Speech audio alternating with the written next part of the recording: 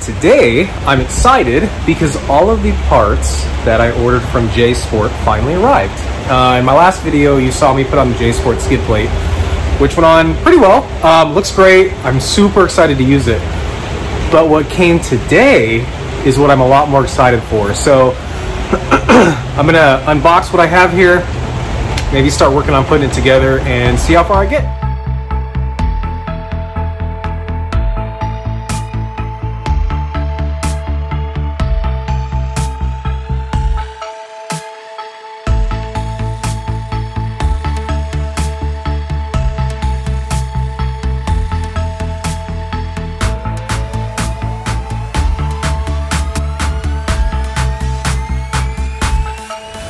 Are the sides, obviously.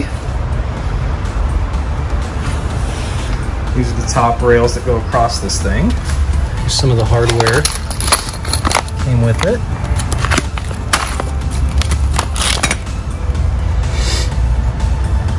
The other thing that's obvious is there's no directions.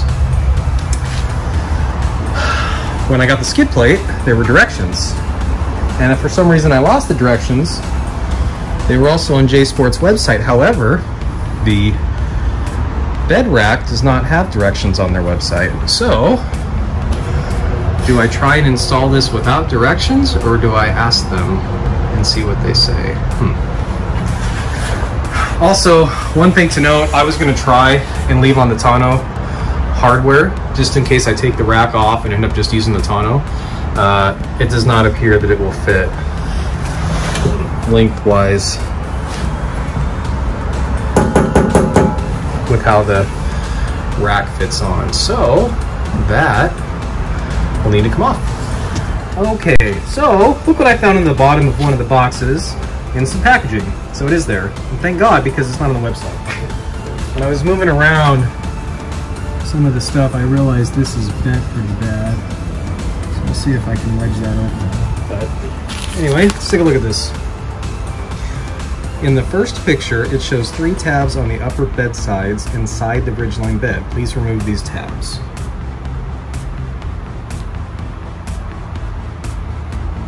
In the first picture. Mm, well, I think what it means, these guys here, here, and there. So let's get to removing them. So you are going to need a Torque X bit here. Uh, it's a T30.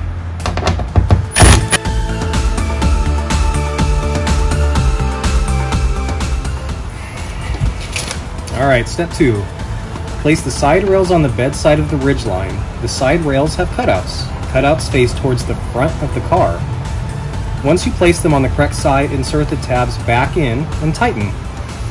Okay, so don't lose any of these. Uh, we're gonna reuse them. And the cutout is this area right here. As you can see on the other side, there is no cutout.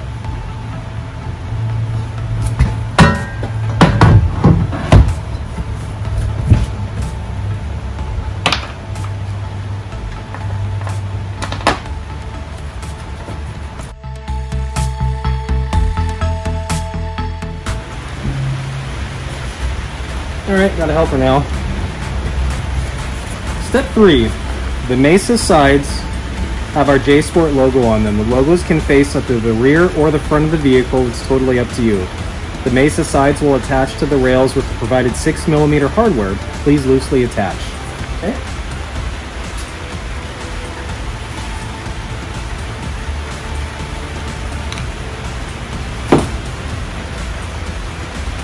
So the 6mm hardware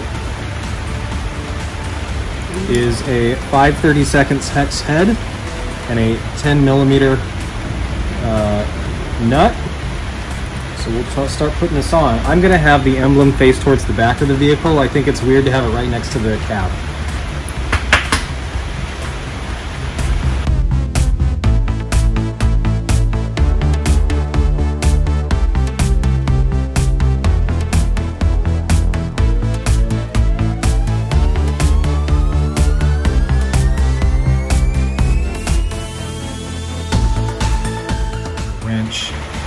To get in there because my socket is pretty thick to be able to fit inside here with the bolt. So I'm gonna give that a shot. All right. Number four, after the Mesa sides are attached, you can start placing the crossbars that go on top. The two crossbars with one tab on it attached to the end of the bed racks, and they will face inwards. Please loosely attach the six millimeter hardware and half inch bolts. Hardware attaches to the corners of the bed rack. After that is done, there should be one crossbar with two tabs on it. This is the middle crossbar, please attach. So I line these out. As you can see, that one has one, this has two for either side, and this is the third. Another problem is that that's bent. So we're gonna have to bend it back, otherwise we probably won't be able to attach this last one very easily. So here's the underneath of the crossbars. What's kind of interesting is the one that has two, they're bolted and really secure. The one that just has one, they're almost riveted on. Definitely rattled there, so hopefully that won't be an annoyance later. We'll see. Okay, so these are all loosely on. I recommend putting one side on first, there, and then sliding these back one by one so that you don't run into a situation where you can't get one in because there's no more flex this. But yeah, they're all loosely on, so we'll tighten them up next. Um, as you can see, the bolt has a washer on both sides. And yeah, it's uh, beefy. All right, home stretch number five says attach the center rail down the middle of the bed rack. It will have cutouts and will be longer than the other crossbars loosely attached with the 6 millimeter hardware.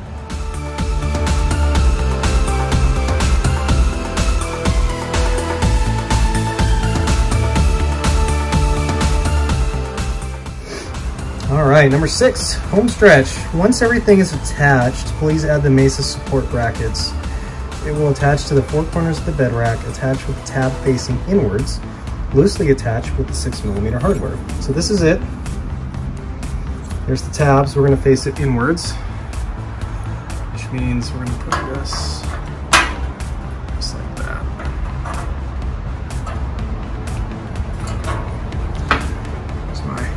handiwork here.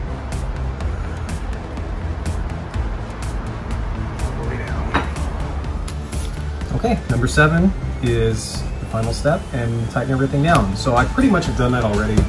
Um, I'll show you the tools that I used. Stuff that's really handy for the larger bolts is a uh, 3 fourths wrench and a number 19 uh, socket here.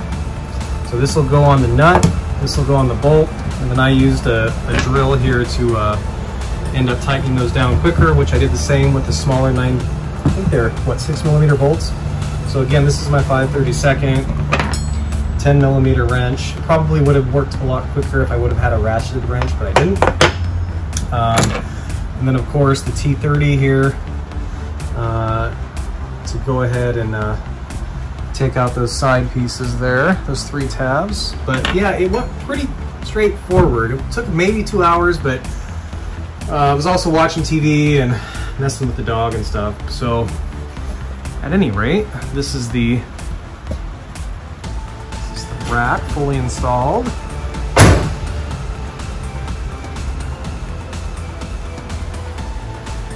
It's got that center brace right there. Makes it really strong. It is, it is really sturdy.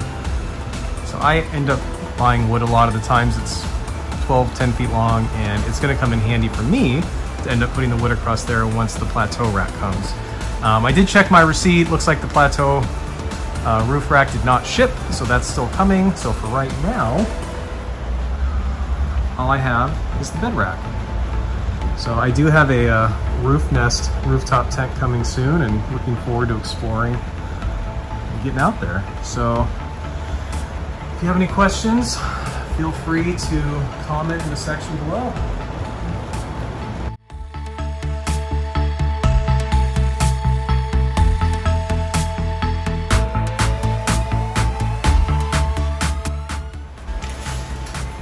and we said we'd measure to see how much it's squatting with everything on there. So we are at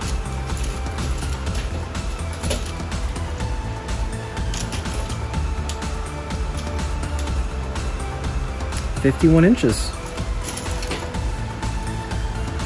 We actually haven't moved at all. It might be just under 51. But yeah, I think the weight on this is about 90 pounds, so that's not too bad.